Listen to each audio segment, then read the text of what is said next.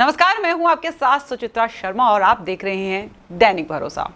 आज हमारे प्रोग्राम खास मुलाकात में आज हमारे साथ आम आदमी पार्टी डॉक्टर विंकी प्रदेश अध्यक्ष डॉक्टर सारिका वर्मा हमारे स्टूडियो में मौजूद है। तो सबसे पहले तो सारिका जी आपका बहुत बहुत स्वागत है हमारे स्टूडियो में। तो मैम सबसे पहले हम आपसे जानना चाहेंगे कि आपके राजनीतिक सफ़र की शुरुआत कब और कहाँ से हुई? या आपका फैमिली बैकग्राउंड ऐसा था कि आपको पॉलिटिक्स में इंटरेस्ट आया।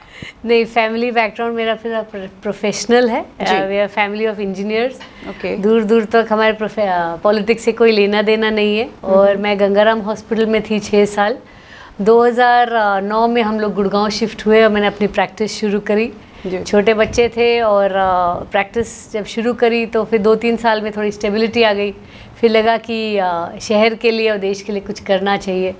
और उस टाइम में आम आदमी पार्टी उभर के आ रही थी। 2013 में योगेंद्र यादव जी से मुलाकात हुई। जी। और मुझे उनका जो सपना था कि डॉक्टर का बच्चा ही डॉक्टर नहीं किसान का मजदूर का बच्चा भी डॉक्टर बनेगा। वो मुझे बात दिल में छू गई और मुझे लगा ये एक पार्टी है जो कुछ कर सकती है कुछ डिफरेंट कर सकती है। तो मैंने पार्टी को ज्वाइन किया और 2013 से अब 10 साल हो गए। मैं लगातार काम कर रही हूँ गुड़गांव में और अ, मैं उम्मीद कर रही हूँ कि आगे चल के भी देश की और शहर की सेवा कर सकूँ। तो मैम जैसे कि आप पेशे से डॉक्टर भी हैं साथ में आप पॉलिटिक्स भी। तो आप दोनों चीज़ों को कैसे बैलेंस बनाती हैं कैसे मैनेज कर पाती हैं? Time management is very important I am E N T surgeon मेरे बारह क्लिनिक हैं एलर्जी डॉग के नाम से। दिल्ली बॉम्बे गुड़गांव चंडीगढ़ और उदयपुर तो I am on the run all the time मैं once a week I go to Chandigarh once sorry once a month I go to Chandigarh once a month I go to Bombay once a month I go to Udaipur. And once a week I go to Delhi तो I run around a fair bit काफ़ी भागना होता है। लेकिन allergy के patient बहुत कम doctors हैं India में जो एलर्जी पे काम कर रहे हैं। मैं उनमें से एक हूँ बीस साल से एलर्जीज़ पे काम कर रही हूँ। मुझे बहुत दिल से तसल्ली मिलती है जब पेशेंट जो इतने बुरे हाल में आते हैं और फिर एक साल बाद जब थेरेपी लेके वो बोलते हैं कि हम तो बिल्कुल ठीक हो गए। तो जो सेंस ऑफ़ सेटिस्फैक्शन होती है एज अ डॉक्टर आप इसलिए बने कि आप लोगों का को हील कर सके उनको उनकी लाइफ इम्प्रूव कर सके तो वो मुझे बहुत सेटिस्फेक्शन मिलती है। एंड uh, वो स्केलेबिलिटी मैंने ये समझी है कि अगर आप देश में भी कुछ अगर आप सोशल वर्क करना चाहते हो. As an N G O you can help maybe fifty sixty people लेकिन the scalability that comes from politics जब आप लाखों करोड़ों लोगों की ज़िंदगी सुधारना चाहते हो वो मुझे लगता है सिर्फ़ राजनीति से आ सकती है. मैंने अरविंद केजरीवाल और दिल्ली सरकार का काम देखा है. और अ, 2013 से जुड़ी हूँ तो एक इलेक्शन दूसरा इलेक्शन तीसरा इलेक्शन मैंने पूरा वो ग्राफ देखा है. और जिस तरह लोग पहले हँसते थे कि गवर्नमेंट स्कूल की बात करें तो कभी ठीक नहीं हो सकते। और आज दिल्ली के स्कूल जो है पूरे वर्ल्ड के लिए एक मिसाल बन चुकी है। सारे लोग आके देखते हैं। और हम हरियाणा में जब डोर टू डोर जा रहे हैं तो सब लोग कहते हैं कि हमने दिल्ली के स्कूल देखे। दिल्ली में बहुत अच्छा काम हुआ है। और मुझे जिस तरह दिल्ली में स्कीम थी वो जो मोहल्ला क्लिनिक बने हैं डेफिनेटली उससे बहुत फ़र्क पड़ा है। लेकिन जो मुझे बहुत इम्पैक्ट करी है वो जो लाइफ बचाने वाली स्कीम इन्होंने फरिश्ते योजना लाए हैं कि अगर हमारी फैमिली में मेरे खुद के मामा जी थे और 1994 या फाइव में उनकी डेथ हुई रोड ट्रैफ़िक एक्सीडेंट में। और पता चला कि वो टू व्हीलर पे जा रहे थे किसी ने उनको मारा और पूरी रात वो पड़े रहे कोई उनको हॉस्पिटल लेके नहीं गया। And he was found unconscious head injury थी and then he died but अगर किसी ने उनको तब बचा लिया होता तो शायद ये नौबत ना आई होती maybe he would have been alive today तो फरिश्ते योजना जो है कि अगर किसी को भी आप देखते हैं, कोई किसी का एक्सीडेंट हुआ, आप उनको हॉस्पिटल ले जाएँ क्लोजेस्ट प्राइवेट हॉस्पिटल भी ले जाएँ, दिल्ली सरकार उनका पूरा खर्चा देती है उनका पूरे ट्रीटमेंट इलाज कराती है और आप जो उनको लेके आए हैं आपको पिनलाइज नहीं किया जाएगा आपको इनफैक्ट फरिश्ते का सर्टिफिकेट दे के आपको कुछ पैसे समान राशि भी दी जाएगी। तो ये मुझे लगता है बहुत अच्छी स्कीम है एंड ज़रूरी नहीं है कि हमारी आम आदमी पार्टी आए तो ही यहाँ पे भी सुधार हो। हरियाणा सरकार को कौन रोक रहा है ये स्कीम लाने में? It's not a big thing और कुछ आप देखेंगे at the end of the year कुछ करोड़ों रुपए की बात है, लेकिन जो जिंदगियाँ बचती हैं, जितने परिवारों को सुख मिलता है, जिनकी the life means a lot and मुझे लगता है कि गुड गवर्नेंस से you are able to make a difference और मुझे, ये अच्छी गवर्नेंस जो है, बहुत सारे लोगों की ज़िंदगी को सुधार सकती है। मैम, इस भाग दौड़ की लाइफ में आप फैमिली के लिए टाइम कब निकाल पाती हैं? क्योंकि देखो पॉलिटिकल करियर आप जो स्टार्ट कर चुकी है राजनीति में आ चुकी है उसके लिए डेफिनेटली पूरा टाइम देना पड़ता है। साथ में आपका पेशा भी डॉक्टरी का है। तो फैमिली के लिए टाइम कब निकाल पाते फैमिली को मैं पूरा टाइम देती हूँ। मेरे बच्चे जब सुबह उठने से लेकर रात को सोते हैं जब स्कूल से आते हैं एवरी मील उनके साथ मैं बैठती हूँ। मैं बच्चों को बहुत प्यार से पाला है। और गंगाराम हॉस्पिटल मैंने इसलिए छोड़ा था क्योंकि मैं चाहती थी कि मेरे बच्चों को अपने पलते देखूँ। क्योंकि अगर मैं हॉस्पिटल में काम करती तो सुबह से रात वहीं रह जाती और मेरे बच्चे पीछे से बड़े हो जाते they would have been strangers so that's the reason why I quit the hospital so that I could give time to my children and अब मेरे बच्चे बड़े हो गए हैं। अब एक अगले साल मेरी बेटी कॉलेज चले जाएगी और बच्चों को मैंने बहुत समय दिया है उनको पढ़ाई हमेशा अपने आप कराई कभी उनकी ट्यूशन नहीं कराई खुद से उनको पढ़ाया तो मुझे बहुत तसल्ली है कि as a parent I done my job okay चलिए मैम बात करते हैं आगामी चुनावों को लेकर जी। तो क्या आप भी तैयारियाँ कर रही हैं? जी बिल्कुल कर रही हूँ। चलिए। निगम चुनाव की यहाँ पे जो घोषणा क्या कुछ तैयारियाँ चल रही हैं? निगम की आपको पता है कि एक साल से इन्होंने स्थगित कर रखे इलेक्शन तो पिछले सितंबर में होने चाहिए थे। अब एक साल बीत चुका है फरीदाबाद में दो साल बीत चुके हैं। और मानेसर में निगम बनते हुए भी उसके बाद आई थिंक एक डेढ़ साल हो गया और उन्होंने अभी तक चुनाव किए नहीं अगर ये नहीं करेंगे तो the High Court has a right to revert back वो मानेसर का स्टेटस रिवर्ट कर सकता है कि वो रहे ही ना निगम।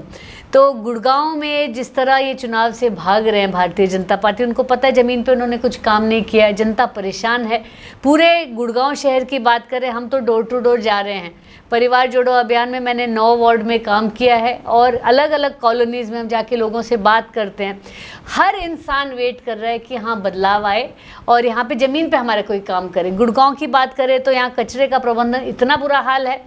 पिछले एक डेढ़ साल में मेरे ख्याल सफ़ाई कर्मचारी ये चौथी बार स्ट्राइक पे गए हैं। पूरे गुड़गांव को इन्होंने कूड़े का शहर बना के रख दिया। इट इज़ अनबिलीवेबल किस तरह का शहर है जो करोड़ों करोड़ों रुपए दे रहा है, पूरे प्रदेश को चला रहा है और यहाँ का प्रबंधन इनसे नहीं संभलता। मुझे लगता है अगर आपसे काम नहीं होता तो प्लीज़ कुर्सी छोड़ दो। बाकी किसी और को मौका दो जो काम करने में इंटरेस्टेड है, क्योंकि ना इनसे कचरे का प्रबंधन हो रहा है, ना इनके नालियाँ साफ़ हो रही हैं, ना इनकी सड़कें ठीक हो रही हैं, कोई भी बेसिक फैसिलिटी दे नहीं पा रहे तो गुड़गांव के लोग इनको वोट क्यों करेंगे? तो अब यहाँ पे मैं गुड़गांव से निगम की भी तैयारी कर रही हूँ। अगर मेयर के चुनाव होंगे तो मेयर की तैयारी करूँगी।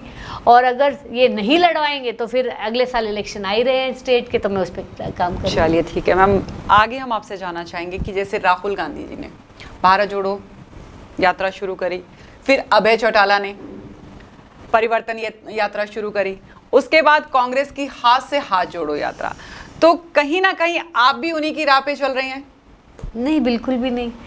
कि जो कि जो परिवार जोड़ो का जो आपने अभियान चलाया है उनकी यात्राएँ हैं लेकिन कहीं ना कहीं वही चीज़ आप भी उसको उसमें लेकर आ रही हैं। बहुत ज़्यादा अंतर है। क्या होता है मैंने राहुल गांधी की जो Bharat Jodo Yatra I I respect the sentiment बहुत अच्छी चीज़ है जुड़ना चाहिए। और इससे कांग्रेस को एक नई ऊर्जा मिली है और राहुल गांधी को भी बहुत पॉजिटिविटी मिली है मीडिया में और पब्लिक परसेप्शन में। एंड लगातार उन्होंने प्रेस कॉन्फ्रेंस की जबकि हमारे प्रधानमंत्री आपको पता है नौ साल से प्रेस कॉन्फ्रेंस से भागते हैं। तो ये फ़र्क डेफिनेटली उन्होंने निकाला है। लेकिन जो ये करते हैं ना एक शहर से आधे घंटे में गुजर जाते हैं तो उसमें कितने लोग जुड़ते हैं लिटरली लाइक एक शोबाजी तो होती है, एक हवा बनती है, पोस्टर लगते हैं बैनर लगते हैं, लेकिन कितने लोग उनके इनर सर्कल में आते हैं? दस, पंद्रह, बीस मैक्सिमम हम लोग परिवार जोड़ो अभियान कर रहे हैं एक एक गाँव में जा रहे हैं एक एक मोहल्ले में जा रहे हैं एक एक घर में जा रहे हैं, लोगों के साथ बैठ रहे हैं, बात कर रहे हैं, उनकी बात सुन रहे हैं, उनसे प्रॉब्लम समझ रहे हैं और फिर उससे जो निकल के आता है और 21 लोगों की कमिटी हर गाँव में बना रहे हैं, हर वार्ड में बना रहे हैं। तो जो हमारे निकल के आ रहा है ना, उसका कोई कंपेरिजन ही नहीं है। एक होता है कि आपने यात्रा निकाली, उड़ के चले गए, आपने हवा दिखा दी। और दूसरा होता है कि आप एक एक घर से जाके बात करो।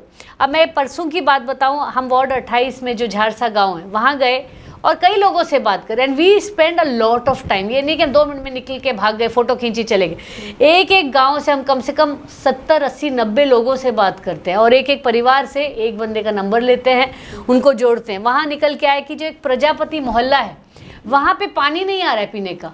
आप हैरान हो गए कि पूरे झारसा में पानी आ रहा है एक मोहल्ले में पानी नहीं आ रहा है। क्या ये जाति की वजह से नहीं आ रहा है? क्या कोई और वजह है? तो इसका मैंने मुद्दा उठाया मैंने मीडिया के माध्यम से ट्विटर के माध्यम से मैं निगम कमिश्नर के पास भी मैसेज पहुँचा दिया कि भाई आप पूरे गाँव में पानी आ रहा है एक गाँव में एक हिस्से में नहीं आ रहा है। तो कौन जिम्मेदार है इसका? ना आपका वहाँ पे काउंसलर है। ये लोग कहाँ जाए? और इतने परेशान है महिलाएँ बोली कि दो दो बाल्टी हम नेबर से, जाटों के घर से लेके, उनके वर्ड थे, मेरे नहीं। जाटों के घर से लेके आते हैं, दो बाल्टी और वो पूरे दो तीन दिन चलाते हैं खाना बनाने के लिए। तो आप समझ सकते हैं, गुड़गांव जैसे शहर में रह रहे हैं। It is the heart of the city and यहाँ पे आपको पीने का पानी तक नहीं मिल रहा। तो what is the point of saying millennium city फलाना सिटी ढिमकाना सिटी आप लोगों को पानी तक नहीं दे पा रहे हो। तो ये सरकार की जो है, बहुत ज़्यादा फेलियर है। और आम आदमी पार्टी ने पिछले डेढ़ महीने पहले हमने बिजली आंदोलन किया था। हमने एक एक मोहल्ले में जाके लोगों से बात की, लोगों ने अपने बिजली के बिल हमारे साथ जलाए और कहा कि हाँ जिस तरह दिल्ली में ज़ीरो बिल आ रहे हैं, जिस तरह पंजाब में लाखों घरों में ज़ीरो बिल आ रहे हैं, हम चाहते हैं कि गुड़गांव में भी आए। जो इंसान 200-250 यूनिट से कम यूज़ कर रहा है, अगर उसको हम लोग हज़ार पंद्रह सौ का सब्सिडी देते हैं तो कोई नुकसान नहीं है। यहाँ पे क्या है कि आप करोड़ों से करोड़पति जो हैं उनको तो आप सब्सिडी दे देते हो उनको आप टैक्स रिबेट दे देते हो उनको आप एग्जेम्पन दे देते हो उनके लोन माफ़ कर देते हो। एक आम इंसान जो बीस हज़ार रुपये महीना कमा रहा है उसको अगर आप पंद्रह सौ दो हज़ार की सब्सिडी बोलते फ्री की रेविटिया दे रहे हैं। तो you see the double standards that Modi government has brought about एक तरफ़ अपने दोस्तों को उन्होंने पहले गुजरात के सबसे अमीर बनाया फिर इंडिया के सबसे अमीर बनाया फिर एशिया के सबसे अमीर बनाया फिर वर्ल्ड के सबसे अमीर बना दिया। ये वही इंसान है ना? और कैसा उनका एक्सपोनेंशियल ग्रोथ हुआ है? और हमारे यहाँ पे जो आम इंसान है, उसकी एवरेज इनकम हैज़ फॉलन उसकी सेविंग्स है फॉलन एंड एक भूख आई मीन हंगर इंडेक्स में India has now fallen to 111 in the world ये शर्म की बात है। आप एक तरफ़ कहते हो जी भाई अस्सी करोड़ लोगों को राशन दे रहे हो, कहाँ दे रहे हो आप? परिवार पहचान पत्र के नाम पे तो आपने राशन काट काट के बुरा हाल किया। गुड़गांव के हर मोहल्ले में लेडीज़ बोल रही हमारा राशन कट गया, हमारा बीपीएल कट गया, फलाना कट गया। आप अमीर आदमी को अमीर करते जा रहे हो, गरीब को और गरीब कर रहे हो। गरीबी रेखा से कम you know four billion four crore people fell below the poverty line in the last three four years तो ये सबका साथ सबका विकास नहीं है एक आध आदमी का विकास है बाकी सबका जो तो नाश ही चल आपको क्या लगता है कि जो आपकी परिवार योजना जो आपने लगाई है स्टार्ट करी है तो वो कितनी सफल हो पा रही है? क्या लोग उसको मतलब अपना रहे हैं आपके साथ जुड़ रहे हैं उसकी वजह से? कल हमारा कल्मिनेशन है फिफ्टीन अक्टूबर हम पिछले एक डेढ़ महीने से चल रहे बहुत बढ़िया रहा है रिस्पॉन्स अब मेरे पास एग्जैक्ट डेटा तो नंबर्स नहीं है कि कितने बट आई थिंक लाखों की संख्या में पूरे हरियाणा में लोग जुड़े हैं और गुड़गांव के तो पहले तीन दिन के आंकड़े थे कि eight thousand people had join तो ये हर वार्ड में, हर गाँव में, हर मोहल्ले में ये काम हो रहा है। और हमारा एंड रिज़ल्ट ये है कि हम हर वार्ड और हर गाँव में 21 लोगों की टीम बना रहे हैं।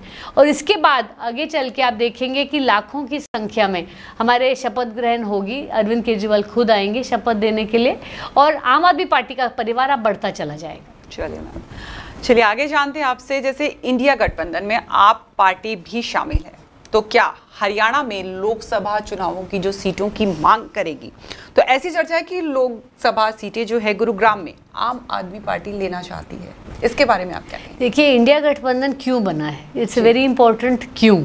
हम इसलिए बना है क्योंकि पिछले नौ साल में पूरे देश में जो डेमोक्रेसी की हत्या हुई है, वो कभी नहीं देखी गई है। इमरजेंसी सारे लोग इसको इमरजेंसी के टाइम से कंपेयर कर रहे हैं। और इस समय कॉन्स्टिट्यूशन को भी बदल दिया गया। आपको याद होगा जब नए पार्लियामेंट में गए, जो कॉन्स्टिट्यूशन की कॉपीज़ मोदी जी ने सब पार्लियामेंट सांसदों को दी, उसमें दो वर्ड हटा दिए गए सोशलिस्ट एंड सेक्युलर तो मतलब आप संविधान को भी बदल रहे हैं।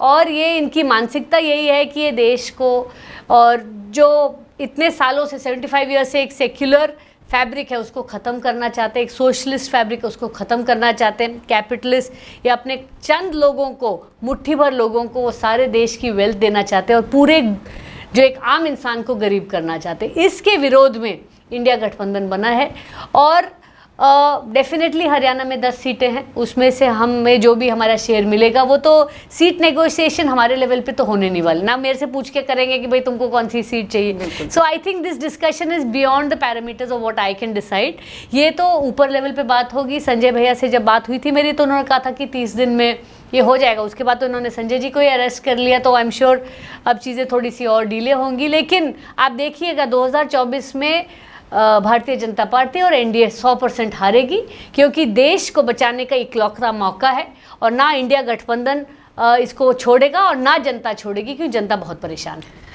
सारिका जी जैसा कि आप भी जानते हैं कि आप पार्टी पे दिल्ली में आरोप पे आरोप लग रही हैं। ठीक है इसके बारे में आप क्या कहेंगे? आपको ऐसा नहीं लगता कि इसका असर हरियाणा पे भी पड़ेगा? आपको ये जो बात एक एक कहावत भी है ना कि बिना चिंगारी के धुआँ नहीं उठता। तो पक्ष विपक्ष सब एलिगेशंस लगाते हैं सबका अपना अपना नज़रिया है। तो आपका क्या मानना है इस बारे में? देखिए चिंगारी अगर होती तो धुआँ बोलते हैं कि धुएँ तभी निकलता है जब तभी आग निकलता लगी है, होती है। लेकिन आपको ये समझना पड़ेगा कि ये धुएँ की सरकार चल रही है भ्रम की सरकार चल रही है। आरोप पे आरोप आरोप पे आरोप लगाए तो जा रहे। हैं। 41 हमारे एमएलए पे इन्होंने फेक केसेस किए और जब वो कोर्ट पे पहुँचे तो सारे के सारे each and every one of them को उनको बाइज्जत बरी कर दिया गया। तो आपको समझ आता है कि सारे के सारे केसेस ये पॉलिटिकली मोटिवेटेड थी। आरोप लगाना काफ़ी नहीं होता। एक जुडिशियल प्रोसेस के ज़रिए उनको प्रूव करके उनको जेल में डालना ज़रूरी है। लेकिन आज तक सत्येंद्र जैन को मेरे ख्याल एक सवा साल हो गया। मनीष सिसोदिया पे आठ महीने हो गए, संजय भैया को दो हफ़्ते हो गए। आपने कुछ प्रोसेस ना दिखाया है और जब कोर्ट में ईडी और सीबीआई को सरकार, जब जज पूछते हैं कि भाई where is the proof there is absolutely no proof क्योंकि इनकी जो ईडी की जो इंचार्ज है, वो थप्पड़ मारती है विटनेसेस को, उनके कान के पर्दे फाड़ के, ये फाड़ के, वो उनसे इंफॉर्मेशन लेती है। और फिर जब वो छूटते हैं तो जाके वो कोर्ट में बोलते हैं कि ये मुझे जबरदन मार पीट के मेरे से ये बयान दिया गया। आज संजय भैया पे जो ये ये इन्होंने किया है, क्या है? टोटली फेक है। जबकि he is not a minister he is the member of parliament of the Rajya Sabha उनका एक्साइज पॉलिसी से कोई लेना देना नहीं, लेकिन आपने उन पे आरोप लगा दिया और आज भी आप कोर्ट में कुछ प्रूव नहीं कर पाए। मनीष सिसोदिया, आठ महीने हो गए, हर बार उनकी बेल हियरिंग आती तो बोलते जी, हमारे पास कुछ नए सबूत आए साला, आज तक एक सबूत तो निकाल के दिखाओ आप। इट इज़ नॉट इनफ कि आरोप पे आरोप लगाना काफ़ी नहीं है, आरोप का आज तक आप प्रूव तो कर नहीं पाए। आपने सारे हमारे एम को आपने प्रताड़ित करके देख लिया। मनीष सिसोदिया को ये भी ऑफ़र दिया गया था कि, भाई, तुम भारतीय जनता पार्टी की वॉशिंग मशीन ज्वाइन कर लो और तुमको साफ़ सुफा करके आपको MP uh, uh, chief minister बनाया जाएगा। मनीष सिसोदिया माने नहीं। वहाँ पे आप देखेंगे, वहाँ अजीत पवार जो है महाराष्ट्र में, मोदी जी ने स्टेटमेंट दिया, सत्तर हज़ार करोड़ का इसने घोटाला किया है। अगले दिन वो भारतीय जनता पार्टी ज्वाइन कर लेते हैं। वही सत्तर हज़ार करोड़ का आरोपी आज उनका उप मुख्यमंत्री बन जाता है। Where is the evidence where is the ED where is the CBI तो खाली आरोप इसलिए लगाए जाते हैं कि आप उनको डराएँ, धमकाएँ उनको प्रताड़ित करें, उनको बोलें, भाई, तुम अपनी पार्टी छोड़ के मेरी पार्टी में आ जाओ। ये भारतीय जनता पार्टी का चेहरा जनता को दिख रहा है। ये झूठ बोल के अपने आप को गुमराह कर सकते हैं, लेकिन जनता जो है बहुत ही ज़्यादा सयानी है। उनको दिख रहा है क्या हो रहा है? आम लोगों को दिख रहा है, उनका गुस्सा उबल के आ रहा है। और जिस तरह इमरजेंसी के टाइम में आज एटलीस्ट इमरजेंसी में कांग्रेस में ये हिम्मत थी कि कहा था कि इमरजेंसी है। अब ये अनडिक्लेयर्ड इमरजेंसी बोलते नहीं अघोषित आपातकालीन स्थिति बना रखी है इन्होंने। उमर खालिद को तीन साल से जेल में डाल रखे सात बार उनकी जो bail application it is not even come for hearing क्योंकि उनके पास कोई सबूत नहीं है। और आरोप लगाना काफ़ी नहीं होता। अगर आप में हिम्मत है तो आप उनको कन्विक्ट करके दिखाएँ। ईडी ने तीन हज़ार रेड्स किए हैं। तीन हज़ार। और उनका conviction rate is less than point five percent that means twenty nine hundred and two thousand nine hundred ninety nine raids were fake and they were not warranted. So that means ED and CBI are being used by the government to just pressurize the opposition और सभी लोग जो opposition में है liberal है मुँह खोलते हैं आवाज़ उठाते हैं जर्नलिस्ट हैं उनको धमका के डरा के चुप कराने का प्रयास किया जा रहा है लेकिन मैं आप प्रधानमंत्री को और भारतीय जनता पार्टी को बता दूँ अ, 2024 के चुनाव आ रहे हैं जनता बहुत सयानी है आप कुछ काम कर लो वरना आपके नंबर आने वाले हैं चलिए सारिका जी आपका बहुत बहुत शुक्रिया। आपने बहुत अच्छी जानकारियाँ दी बहुत अच्छा बताया आपने सब।